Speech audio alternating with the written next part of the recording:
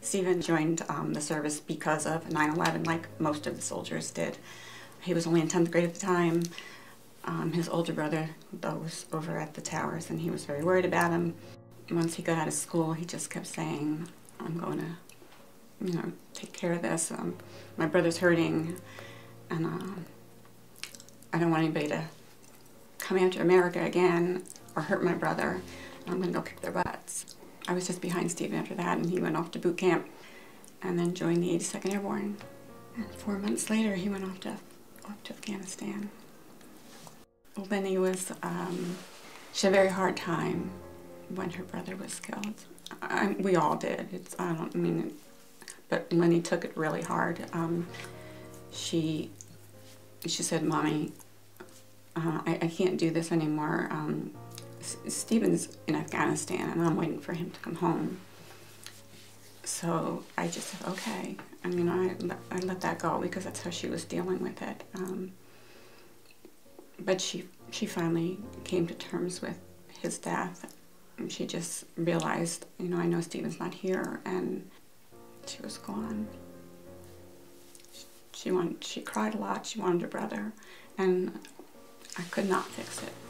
You know, as a, as a mother and a father, you always try to fix problems. You do the best you can, and this was one thing I couldn't fix. So, I lost my daughter. Well, well, the one main thing that I always pointed to as far as trying to help the community and help others is that our son volunteered to do that. Now, now we've been drafted. That's how we look at it. Mm -hmm. That we, we're trying to follow his footprints and we're trying to follow his dedication to helping others. We don't have any other choice. That's how we look at it. And groups like Hope for the Warriors, they, it's part of our therapy. It winds up being part of our, our commitment to carry that baton that was dropped in Afghanistan. That's that's yeah. what we try to do. They make you feel like part of a family. Yeah. And they are there to listen to your problems and listen to what your, your needs are. I, and we, we've seen them help so many different individuals and families through all these different events that we've been in, and we know what they've done for us. Even though Stephen, we lost Stephen military, um, Tina Atherall, executive vice president, she will not leave out my daughter she she will remember Stephen and she will remember Lenny. So, and I run in honor of my son and my daughter, but I don't know, to be honest with you, if another organization would have done that, but uh, the Warriors certainly has.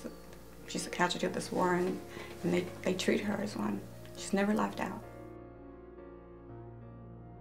The Koch family is not alone. When their soldier went to war, the family fought with them. And at Hope for the Warriors, we work tirelessly to support America's veterans and their families. But we can't do it without your help. Please visit www.hopeforthewarriors.org and show your support by donating tonight. With your help, we can assure that every American veteran returns to the safe, supportive community that they deserve.